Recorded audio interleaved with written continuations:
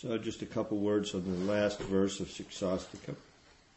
Aslashiva padavratam punastumam darsanam marma atam karotuva yatatava vidadatu lampato matrana natastu eva nampara.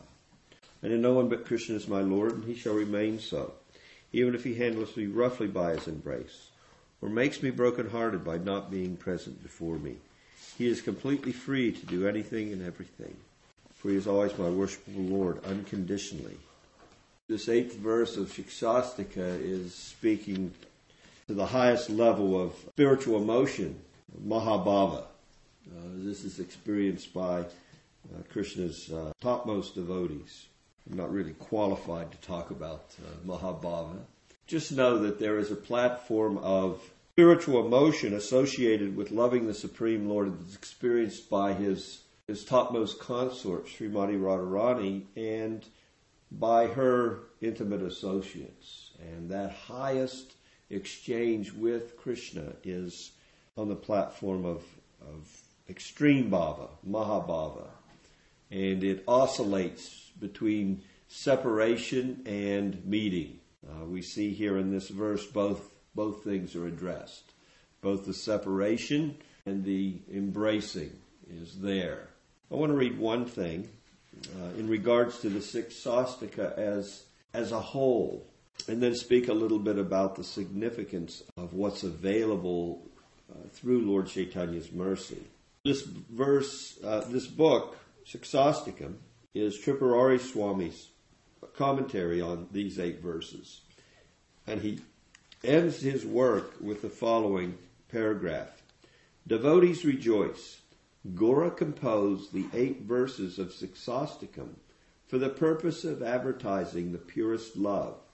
And after composing them, Gora tasted that love in Siksastakam's final stanza and invited the whole world to do the same. Sri Siksastakam should be recited daily, and its deep meaning should be contemplated over and over again. These eight verses of Gora Krishna awaken Shraddha in the sadhana of Nama Sankirtan and give bhakti in sequential steps culminating in Vraja Prema. Blessed are those who take advantage of it. May they bless me by allowing me to follow in their footsteps. The Krishna consciousness movement coming down from Sri Chaitanya is an extremely rare opportunity for those suffering within the material world. Krishna states in Bhagavad Gita, Yada Yada Hi Dharmasya Glanir Bhavati Bharata. Whenever and wherever there's a decline of religion, he comes himself. That also includes when he empowers someone with his energy to get humanity back on track. So we see in the advent of Lord Krishna 5,000 years ago, the earth was overburdened by corrupt leadership. 5,000 years ago, Krishna came himself to put things straight. And we can see that throughout history, Krishna is coming either himself in various incarnations or he empowers someone. These empowered living entities, I mean, all of us are part and parcel of the Supreme Lord. Whatever we are is the essence of our existence is a small particle of the Supreme.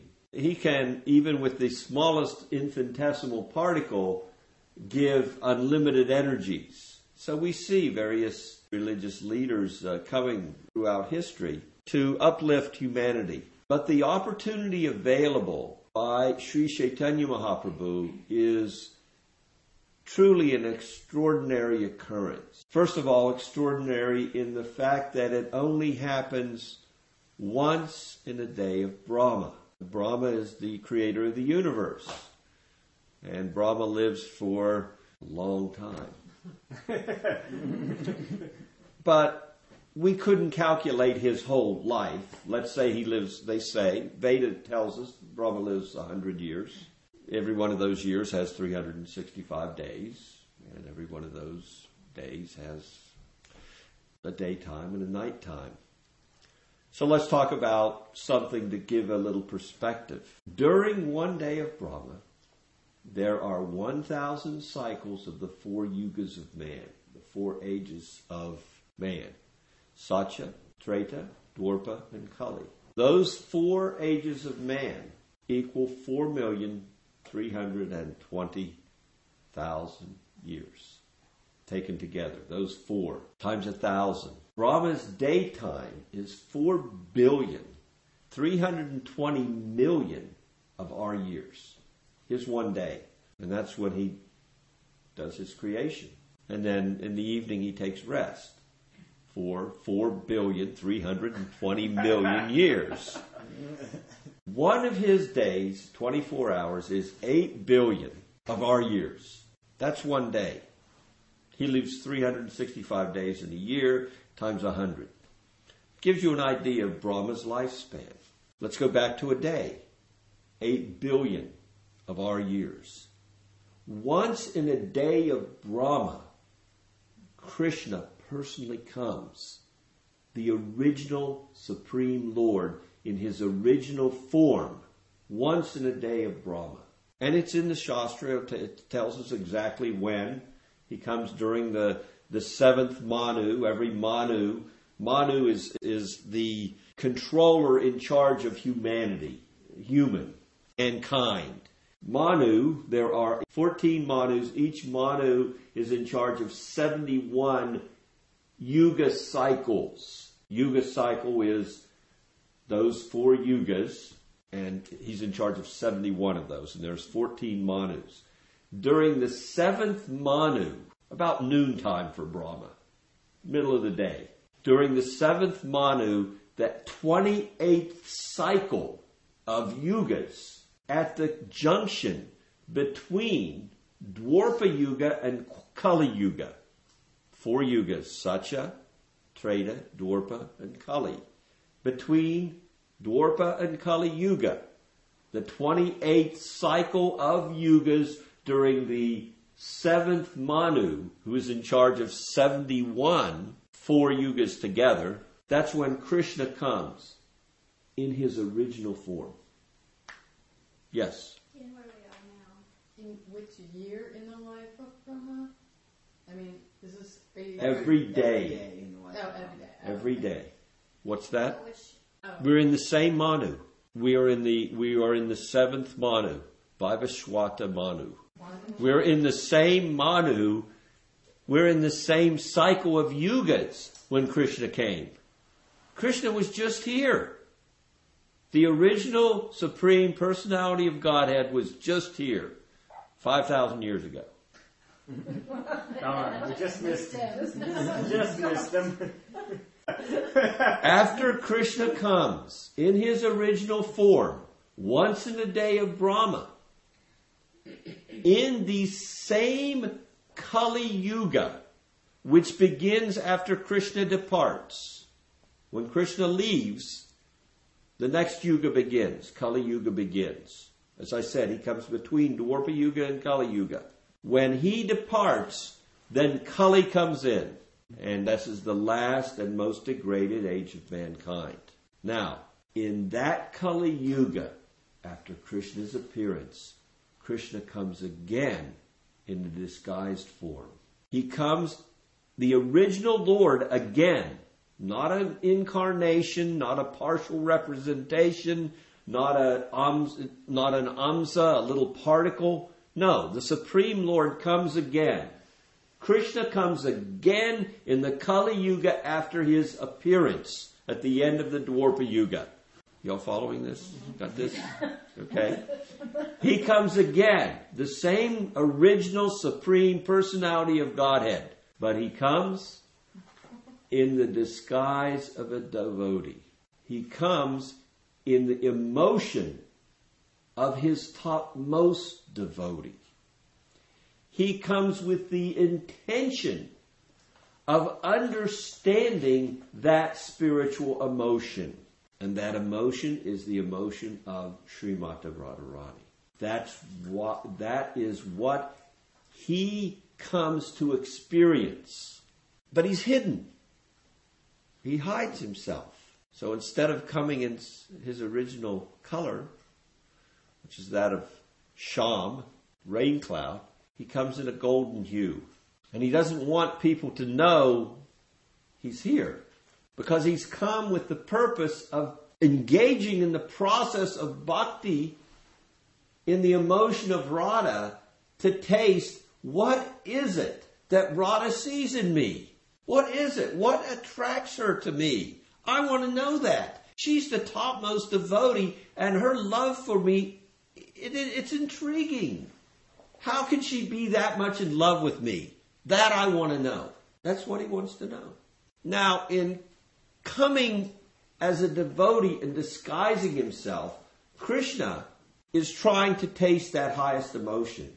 But he really can't disguise himself from his devotees. Because his devotees, his topmost associates, Radharani's, topmost servitors, the topmost manjaris, those that arrange for loving exchange between the Lord and his consort, they also detect him. And those topmost lovers appear at the time of Lord Chaitanya as the Goswamis. Now, as soon as Lord Chaitanya finds that the Goswamis they're coming to him and they're saying, "You are the supreme personality of Godhead." He covers his ears. I don't want to. I'm not God. No, I'm just a devotee. How you could call me God? But they know they can find immediately what he does in order to further disguise himself is that love that he came to taste, that highest sentiment of devotional service of Srimati Radharani. He immediately takes that storehouse of love and begins to distribute it to humanity. Hoping that in distributing that love to humanity, he will not be found out. A very unique situation comes in the, in the wake of that. And the uniqueness of that situation is that humanity, mankind, in this Kali Yuga, when Sri Chaitanya Mahaprabhu, the Supreme Personality of Godhead in his original form, covered with the emotion of his topmost lover, when he comes in this Kali Yuga, after he's invented in his original form as Krishna, he distributes the most intimate spiritual knowledge of his topmost loving exchanges with his supermost devotees freely to mankind despite the fact that Kali Yuga is the most degraded age and no one is a fit recipient. We have no qualifications for this gift. It's quite an amazing thing. So this magnificent Krishna consciousness movement and these eight stanzas which give us a summary of the progression in spiritual life from having just a particle of faith. Shraddha tata sadhu. A particle of faith. Ata shraddha tata sadhu. And the association of Krishna's most intimate devotees. Specifically, the bona fide spiritual master who manifests externally.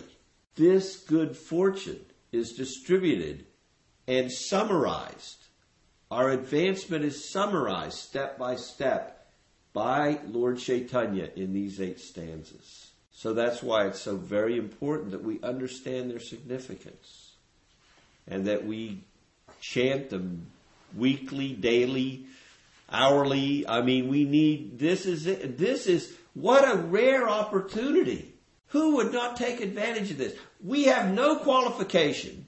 Normally, to advance in devotional service, takes hundreds of lifetimes what to speak of even coming to the platform of being recognized? Krishna gives liberation freely to those that want free from material miseries. Liberation is easily available. He never gives to pure devotion. So very rare that he gives someone himself. Because that what, that's what it means. To be at the platform of pure devotional service means that the Supreme Lord is uh, willing to accept our love unconditionally. But in order to have that rare opportunity, we have to come to the unconditional platform of giving our love. And that's summed up in this eighth verse.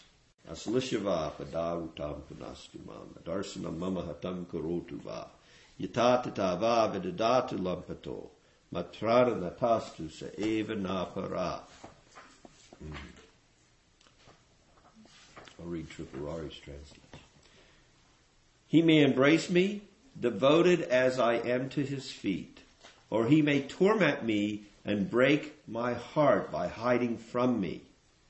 Being a playboy, he is free to do whatever he likes, for he alone is the Lord of my life. There's a lot of esoteric meaning here, especially in the last four stanzas of the Siksastaka. When someone is enters into a heartfelt revelation of these last four stanzas, his actual spiritual relationship with the Supreme Lord becomes manifest in his heart. That means how we personally love Krishna will be manifest to us as we advance progressively. So, are there any questions?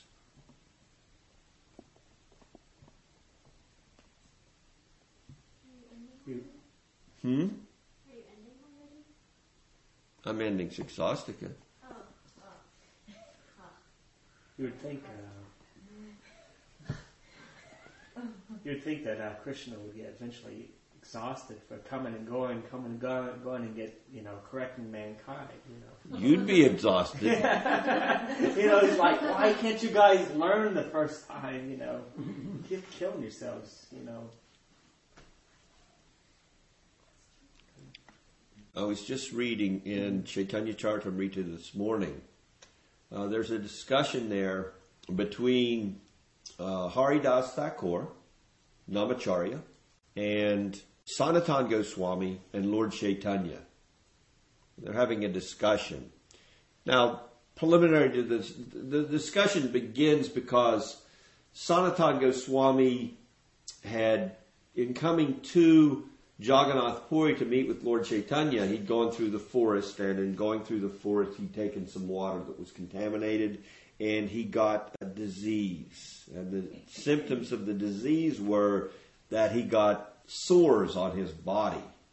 And of course, those sores, they were putting out some undesirable substances. and he was, with these oozing sores, he began to think of how greatly offensive he was in the fact that he was with Lord Chaitanya. And being with Lord Chaitanya, Lord Chaitanya was so kind to him that despite his disease, Lord Chaitanya would always, when he saw him, embrace him.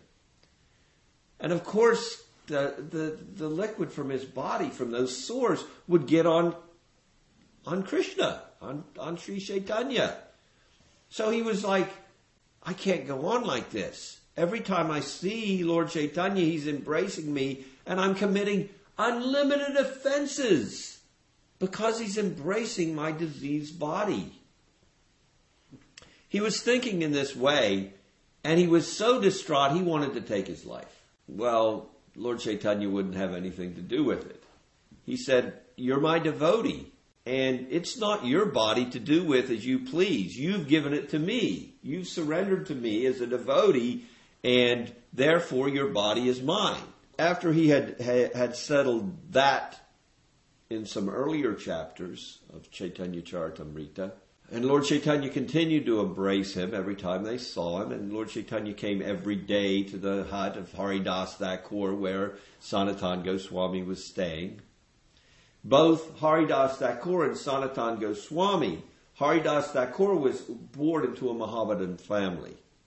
And Sanatan Goswami, although born into a high placed Brahmana family, had worked in the government of Mohammedans. So both of them were considered fallen by the Brahminical standard of society. Therefore, they weren't allowed to go to the temple. And they weren't allowed in. Just like any of you, if you ever go to Jagannath Puri, you're not going to get in the temple. Maybe you can disguise yourself. Some ISKCON members have tried that. I think a couple were successful, but not many have pulled it off. They're supposed to be changing the law now, though. Oh. Until the laws change, you're not going to get in. Back then, both Haridas and Sanatan Goswami weren't allowed to the temple. So they lived in a hut some distance away, but they could see the, the chakra, Krishna's symbol on the top of the temple. Looks like a wheel. In that way, they could worship Lord Jagannath, who resided in the temple. But every day, Lord Chaitanya went to the temple, and then he brought prasadam from the temple to, to Haridas and Sanatan Goswami.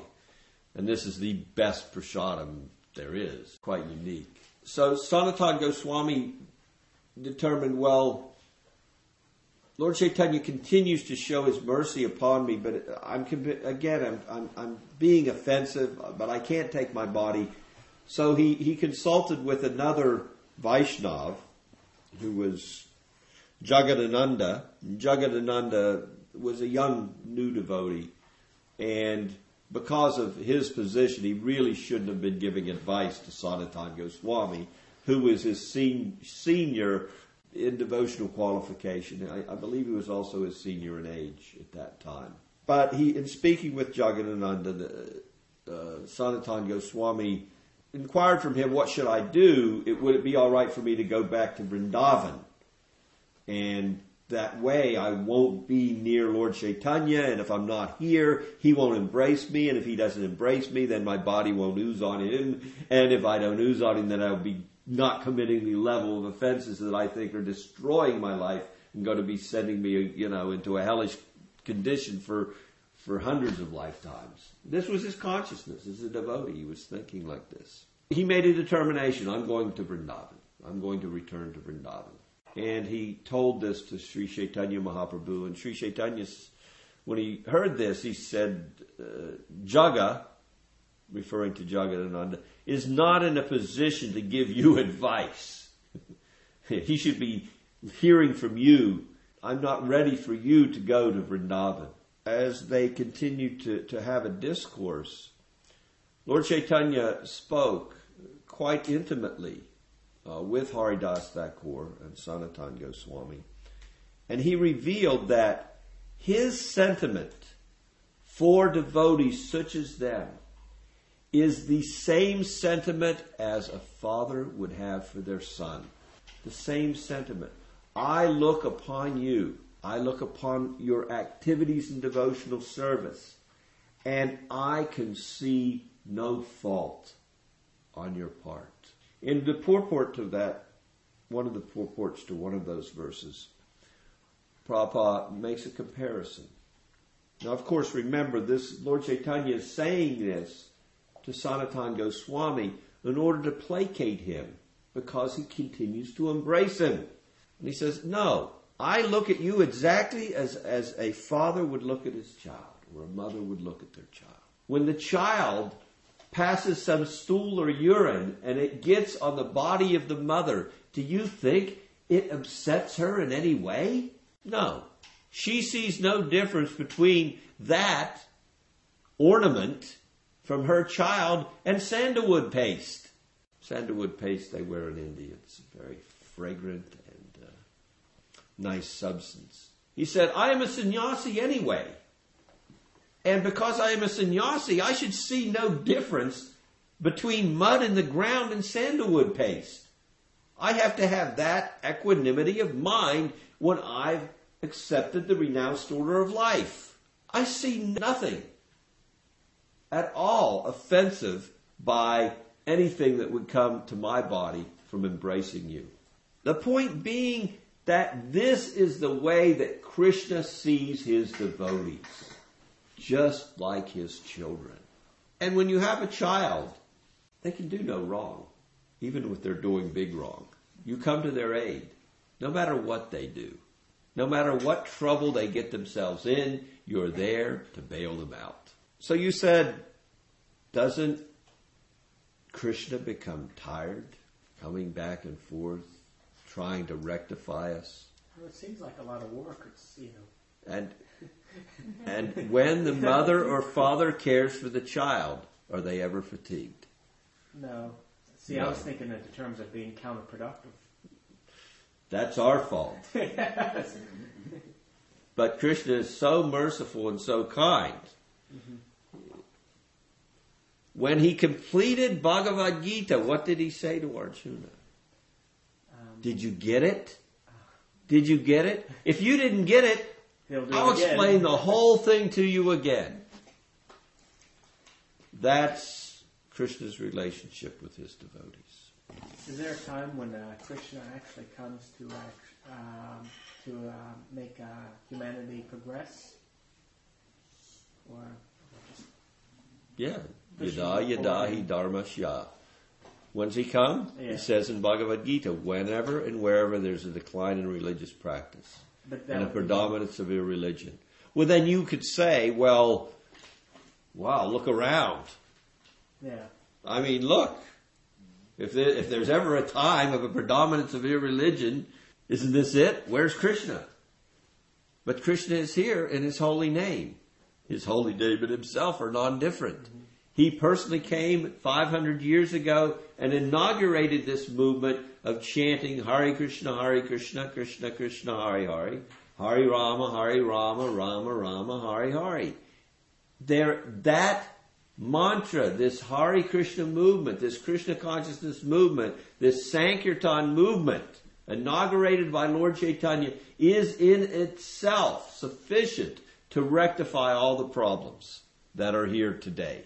Well, you can say, I don't see that it's rectifying the problems. Imagine what it would be like if there was no Krishna consciousness movement here today.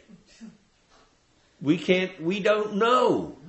So just because be, of our mundane vision, we're not seeing how effective this movement is. You're saying, well, here I am in this city. I don't know how many people live in Winston-Salem.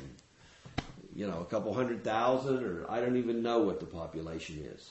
You could say, well, there's a there's a handful of people here, and sometimes you have a Sunday feast, and sometimes devotees come from places elsewhere. And this in this whole city of Winston Salem, you know, there's only two or three homes where devotees are chanting every day, and you know, there's there's not a lot of temples for Krishna, so it doesn't seem like it's having a, any effect.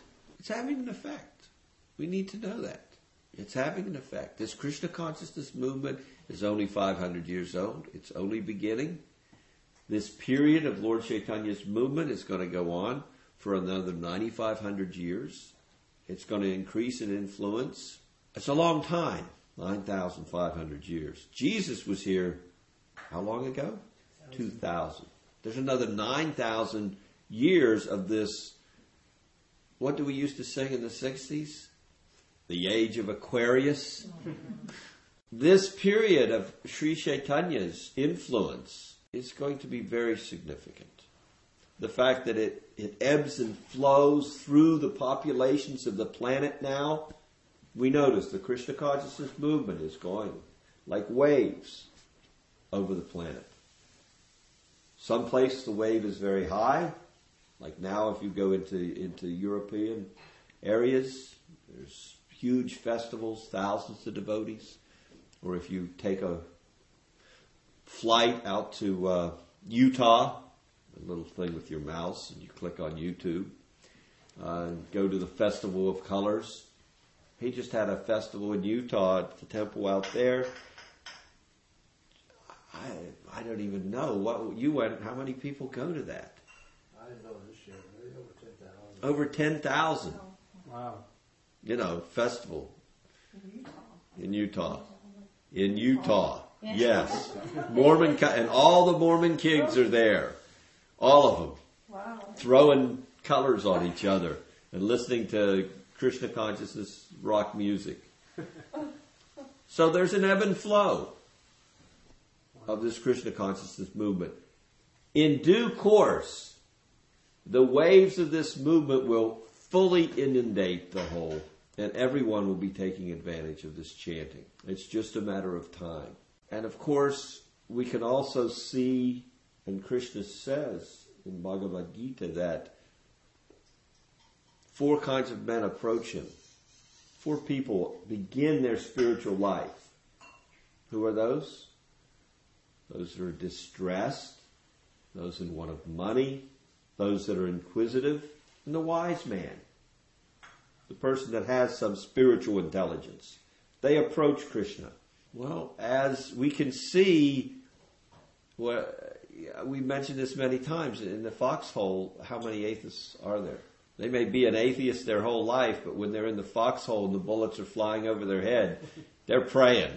They know God then. Similarly, we can see also that there'll be times, just as there has been many times in the past, what we look at as, as current history, many times that humanity's been suffering. You know, you have someone like a Hitler come forward and, and try to show his dominance over the world and the suffering of humanity at that time. Or even you look to third world countries now.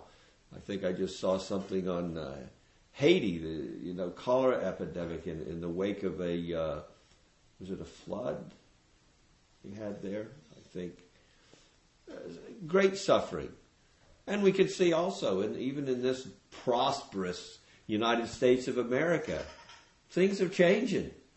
Prosperity may not last that much longer here. We may become the third world Haiti in the next 50, 100 years.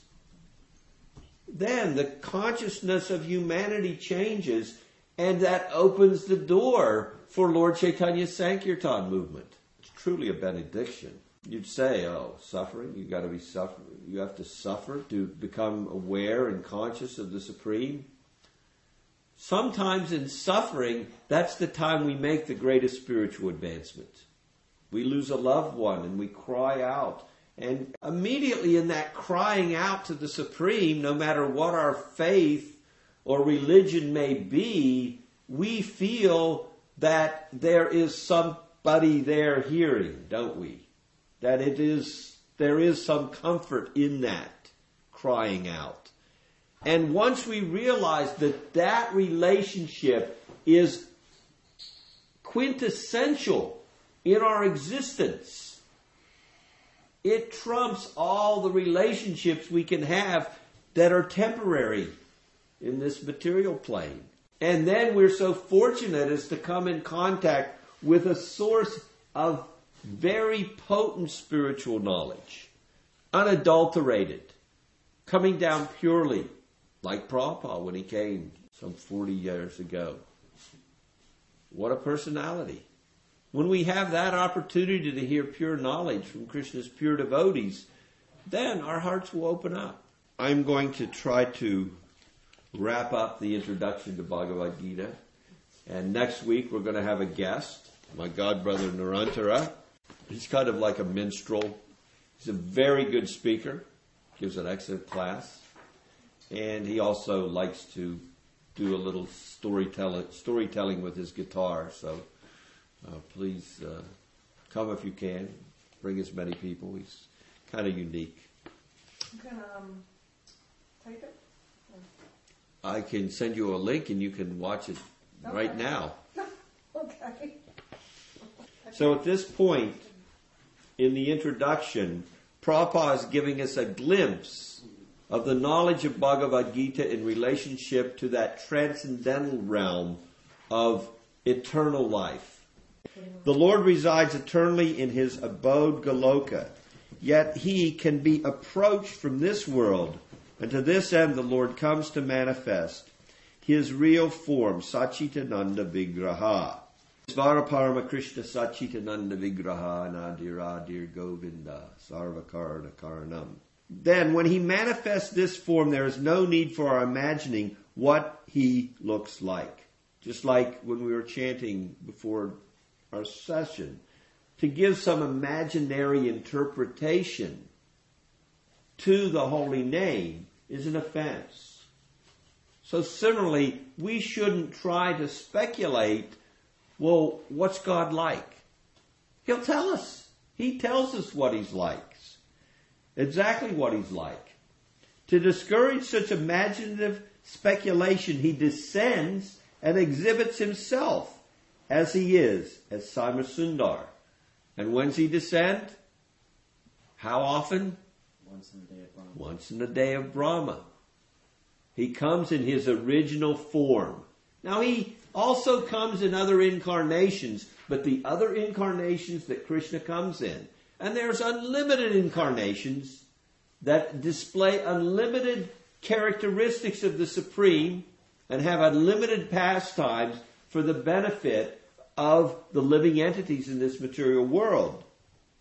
But they don't display all of the Lord's potencies. He has specific characteristics in his form as Sundar, in his original form, that form from which all other incarnations come. And he comes once in a day of Brahma, and then we can know this is the Supreme Lord. Is it possible that uh, Krishna comes as as an animal Yes. rather than a man? But He comes in every species of life.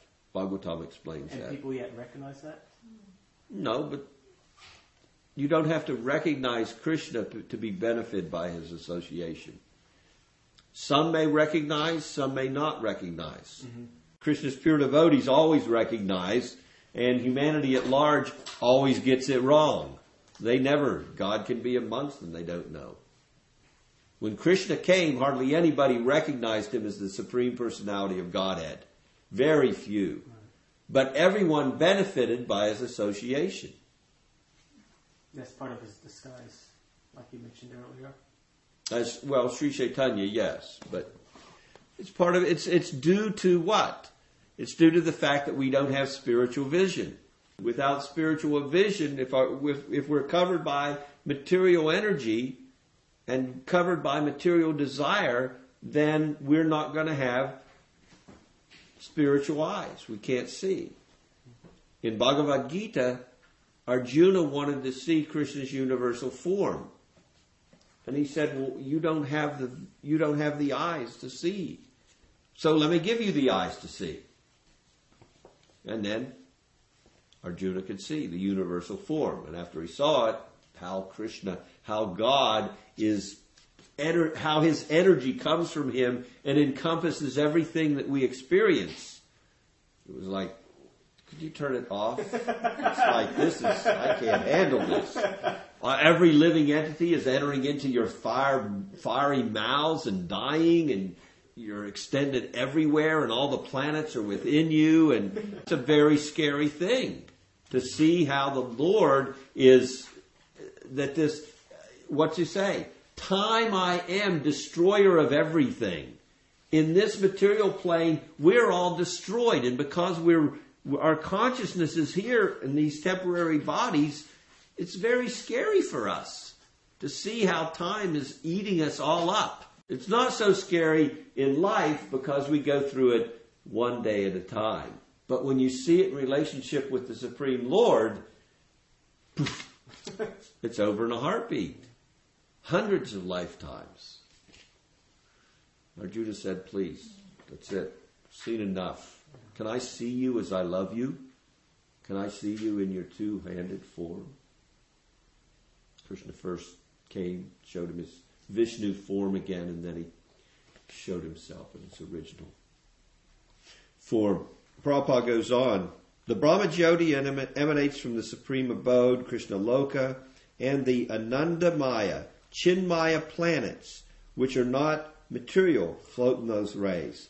So what Prabhupada is doing here, as he goes towards the end of his introduction, is he's giving us some insight into what is that spiritual realm of eternity, knowledge, and bliss. We have experience of this material realm.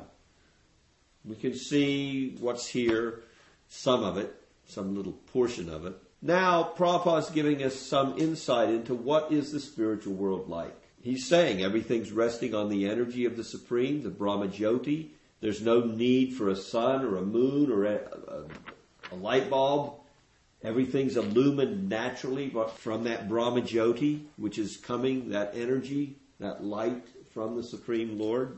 And living entities are traveling from one planet to another, but it is not that we, we can go to any planet we like merely by a mechanical arrangement. Then he explains within the material universe, Yanti Deva Vrata Devan Pitrin Yanti Pitri Vrata. Simple explanation. In this plane of existence, we can see there are so many planets in the night sky. And we may have a desire to go to those planets. And we can see that we even build some contraption and try to go there. Or say we went there. We want to go to the moon. But even if we went to the moon, let's say mankind did go to the moon. Of course, understand that according to the Veda, the moon is actually further away than the sun, not closer. Hmm. Be that as it may. what, let's say we want to go to the sun. Can we go there? Not in this body. Be burnt to ashes. Rahu. Or Mars. So many planets. We may want to make some material arrangement, some mechanical arrangement, and try to go to these planets. Whether it be the moon or the sun or Jupiter or Saturn or Mars or whatever. But there's a, there's a way that we can. Krishna gives us a way in Bhagavad Gita, 925. Yanti Deva Vrata Devan Pitrin Yanti Pitri Vrata. That knowledge is also in Bhagavad Gita. Krishna is also giving that. If you want to go to any one of the planets, every planet has a predominating owner, demigod. Just like if I wanted to go to some rich man's island, he owned the whole thing. But generally, people in that level, you're not just going to drive up in your in, in your boat and, and be allowed entrance. It's going to be protected. It's going to be guarded. Similarly, the higher planetary systems are guarded by material nature naturally, and there is a natural way to go there. You worship the owner of the planet. Want to go to the moon? Worship Chandra. He's the god of the moon. In your next life, you can go. He'll say, Come. You worship me? Fine. I'll let you enter. Want to go to the sun? Fine. Worship Surya. Surya is the god of the sun. You worship him during your life. At the end of life, come. It's okay. I grant you entrance. Any planet in the material universe we want to attain, we can attain by following Vedic directions, scriptural directions, and worshiping the predominating deity of that planet. Prabhupada goes on to explain, though, as explained in Bhagavad Gita, from the highest planet to the lower planet, lowest planet in the material world, every place is full of misery. It may not seem so miserable in comparison with what we experience here, but in comparison with spiritual existence, it's miserable. Why? Spiritual existence has characteristics of what? Sat Chit Ananda. Eternity, knowledge, and bliss. When there's death, old age, change of the body, no spiritualist is interested in any of that, whether he be on the highest planet or the lowest. Whether he lived for a thousand years or a hundred thousand years, or simply a hundred years on this planet. None of that is eh, of any interest to someone who knows his true spiritual nature. If our nature is eternal, full of knowledge and bliss, why would we want any existence independent of experiencing that to the fullest degree? That's what Krishna consciousness movement's about. That's why Krishna gives humanity the Bhagavad Gita so that we can learn this knowledge and know of our true nature. He begins very simply, doesn't second chapter? Never was there a time when I did not exist, nor you, nor all these kings, nor in the future shall any of us cease to be. Matras sparsas ducante, the non-appearance, the non-permanent appearance of happiness and distress, and their disappearance in due course is like the appearance of the, the different seasons. They're, they're not permanent. Prabhupada gives some indication, and then he mentions as long as we do not give up this propensity for lording it over material nature, there is no possibility of returning to the kingdom of the Supreme, the Sanatan Dharma. I think we more or less covered Sanatan Dharma pretty thoroughly last week, right? Remember, Sanatan is eternal Dharma occupational engagement. As long as we want to engage here by being Lord and Master of all we survey, we're not going to be able to regain entrance into Satchitananda. The spiritual world already has a God, and we're not it. That God's Krishna. He's the supreme person there. If we still have a desire to enjoy like God, then we gotta stay here. This is our God place. We can pretend to be God here forever. Of course, we're not ever gonna be God, but we can sure think we're God. I got the fastest car. I got the most buff body. I got all the women coming around me. I'm the best movie star. I have the most money. I have the biggest brain. I have, I pay, play the best, uh, you know, flute. I, I'm the best artist. I'm the best sculptor. Where does it end? I can be God of so many things in this world. Then I can be a different kind of God. Then a different one. Eternally. This body, that body. I get tired of being that kind of God. I can be the next God. I wanted to be the, the best, richest person. I did that. Now I want to be the most famous person. Did that. Now I want to be the strongest person. Most renounced person. I want to be the highest. I want to be the best yogi. I want to have all the yoga siddhis. I want to become as small. I want to be able to fly to any planet I want. I want to be able to leave through the top of my head. And with my mystic power, I want to be able to create my own planets. No problem. You can have all that here. But you can't go to that place where every bit of your existence is fully satisfied. That place of eternal love. That place where all speaking is song and all movement is dance. And where Krishna is the, is the central point of everyone's loving relationship. So that love you cannot have here, but you can have so many other things. You choose. The end of Bhagavad Gita, what Krishna say? I've told you, I've given you all this knowledge. Now you decide either you want to surrender to me or you want to throw your bow down and go off to the forest and listen to you, your, you know, your own, make your own determination. The body is also Nirananda. Nirananda. Instead of being full of bliss, it is full of misery. That not only applies to us, it also applies to those in the higher planetary systems. Course, their misery is a lot less noticeable to them. But even in that higher realm where the physical body is, it's much more subtle. In fact, when the demigods come down to this plane, they could be here in the room, we wouldn't be able to see them.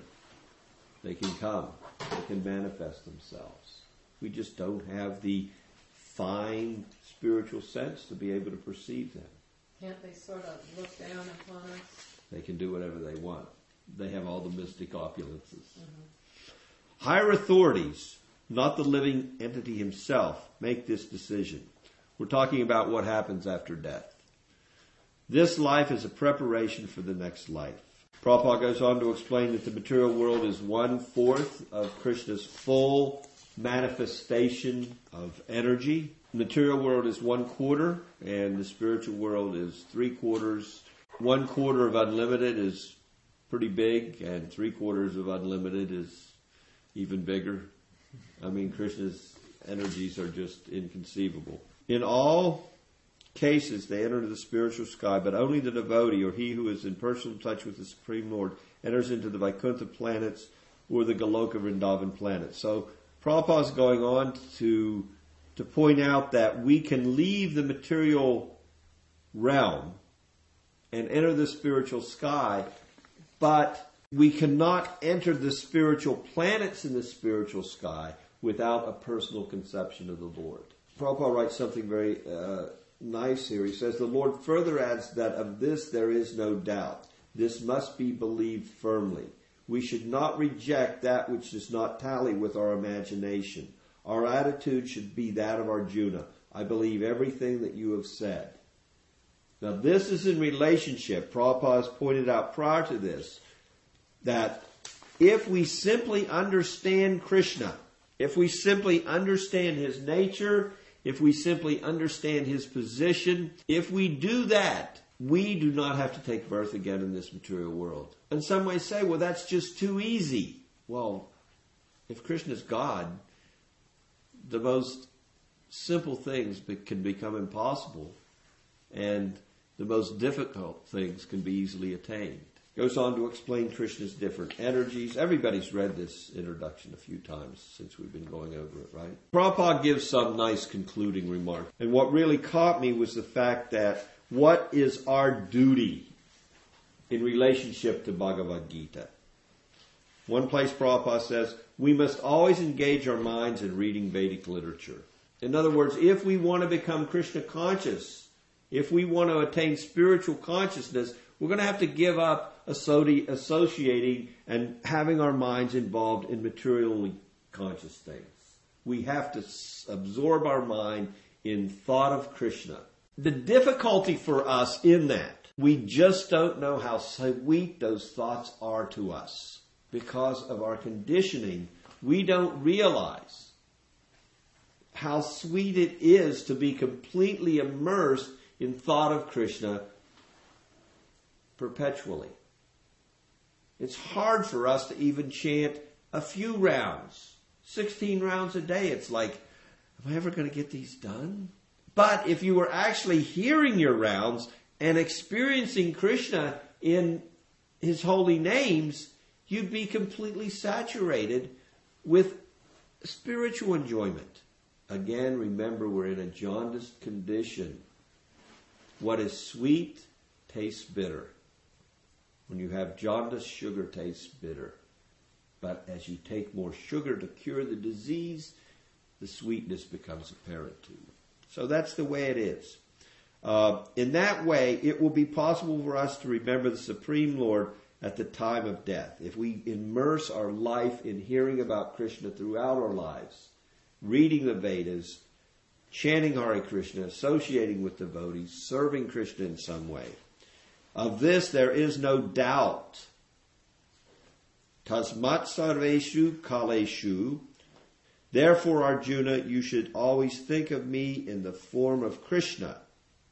Not in any of other, Krishna comes in many forms, but Let's concentrate on that original supreme manifestation of the Lord Sundar. And at the same kind, continue your prescribed duty of fighting. With your activities dedicated to me and your mind and intelligence fixed on me, you will attain me without doubt. Molding our life's activities in such a way that we can remember Him always. And again, I realize it may seem like it's difficult, but once we become absorbed in Krishna consciousness and we begin, we, every week we read Siksastaka, and it's a progression. And the progression is from a little difficult in the beginning to a fact that we actually develop a taste, nista, ruchi, a taste continually. When we read, we have a taste. When we chant, we have a taste we taste prashadam, we have a big taste. At least I do. Similarly, we should always remember the Supreme Lover, Sri Krishna, and at the same time perform our material duties. But we have to develop that sense of love.